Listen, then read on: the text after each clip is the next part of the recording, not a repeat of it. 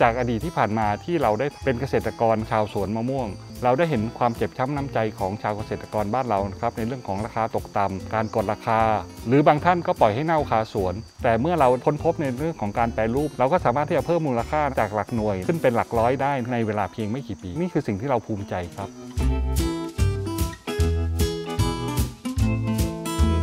มาดามแมงโก้คือผลิตภัณฑ์มะม่วงแปรรูปจากตำบลหลงคอดอำเภอพร้าวจังหวัดเชียงใหม่ จุดเริ่มต้นนะครับเราเริ่มจากการที่เราเป็นเกษตรกรมาก่อน แต่ว่าผลผลิตทางด้านการเกษตรของบ้านเราก็มีเรื่องของราคาตกต่ำนะครับสินค้าล้นตลาดเราก็เลยมีแนวคิดว่า เราอยากนำมะม่วงในท้องถิ่นมาทำการแปรรูปแรกเริ่มเลยนะครับเราเริ่มต้นจากการที่ทำมะม่วงอบแห้ง แล้วต่อมาเราก็พัฒนามาเป็นสินค้ามะม่วงกวนต่อมานะครับในปัจจุบันเนี่ยเราก็ได้มีผลิตภัณฑ์ที่ได้พัฒนาขึ้นมาสำหรับรองรับตลาดคนรุ่นใหม่คือผลิตภัณฑ์กัมมี่เจลลี่มะม่วงสำหรับแนวคิดในการพัฒนาของผลิตภัณฑ์กัมมี่เจลลี่สิ่งที่สำคัญครับก็คือเราผลิตในระบบปิดมาตรฐานส่งออก และใช้บรรจุภัณฑ์แบบฟู้ดเกรด เพื่อยืดอายุให้ได้นานถึง 12 เดือน เพื่อเป็นการเพิ่มมูลค่าสินค้าเกษตรของเราให้แตกต่างจากคนอื่นสิ่งเหล่านี้ครับเราได้พัฒนาร่วมกับสถาบันต่างๆ ในท้องถิ่นใช้เวลาอยู่ประมาณอ่า6-12 เดือนนะครับ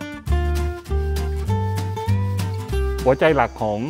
ผลิตภัณฑ์แปรรูปของ Madame Mango นะครับก็คือคำว่า local love คือการที่เรานำผลิตภัณฑ์ในท้องถิ่นนะครับมาแปรรูปเพิ่มมูลค่า อย่างเช่นมะม่วงน้ำดอกไม้ ซึ่งจะมีความหอมหวานเป็น character ของตัวเองแล้วรวมทั้งมีประโยชน์ต่อร่างกายแล้วมีวิตามินต่างๆ ครบถ้วนมะม่วงสดถ้าเราขายที่หน้าสวน ก็ราคาก็อยู่ประมาณ 5 บาท แต่พอเราได้เพิ่มมูลค่าในการแปรรูปเข้าไปแล้วเนี่ยอย่างเช่นมะม่วงอบแห้งเราขายอยู่ที่กิโลละประมาณ 300 บาท ก็หรือว่าประมาณ 60 เท่า จากราคาของมะม่วงสด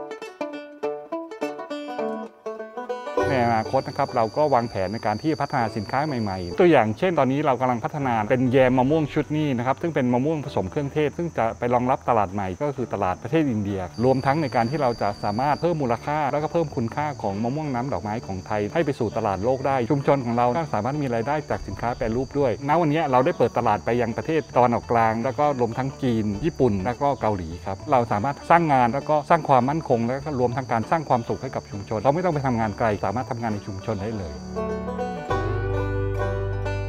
สำหรับในการทำธุรกิจในปัจจุบันนะครับเราเชื่อว่า 1. เราต้องมีไอเดียในการพัฒนาสินค้าให้ทันสมัยอยู่เสมอนะครับอันที่ 2 เราต้องดูกระแสโลก อย่างเช่นตอนนี้มันมีในเรื่องของ food security นะครับหรือความมั่นคงด้านอาหาร และอันที่ 3 คือเราต้องสร้างแบรนด์และก็รวมทั้งการสร้างอาหารต่างๆ เพื่อสร้างความยั่งยืนนะครับให้กับธุรกิจของเราต่อไปในอนาคตครับ